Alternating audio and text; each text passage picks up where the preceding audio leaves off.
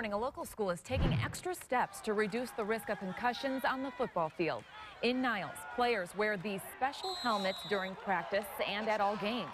WSBT's Kristen Bean is in the control room this morning. Good morning, Kristen. The idea here is to keep players playing. Yeah, good morning, Leanne. You know, when a kid shows signs of having a concussion on the field, they'll be taken out of the game. And there was a lot of that in Niles last year. 10 players diagnosed with concussions, four in just the quarterback position. So this year, the school is taking extra measures to make sure students are safe on the field. When sophomore quarterback Alex Harpinall was hurt on the football field last year, it was off the field that he suffered the most. You're out of it, you're spaced out all the time, and you're really tired and like you're sensitive to a lot more than what you usually are. Harpinall was taken down after a play and suffered a concussion, basically a type of traumatic brain injury. For safety, he wasn't able to play for nearly the entire season. He was one of several Niles football players that had to sit out because of a concussion. It took out uh, quarterback after quarterback and player after player. That's why Coach Antoine Jones is now making his players wear these Guardian caps.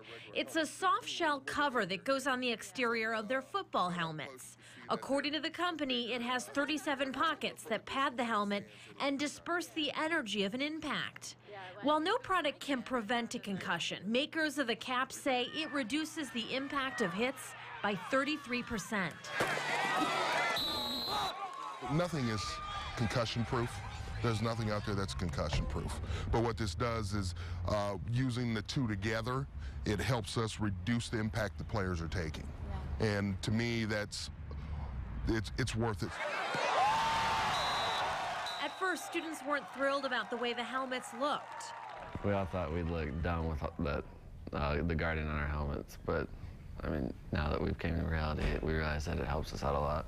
And for Harpinall, anything that can keep him off the sidelines, in the game, and most important, doing well in the classroom is worth it.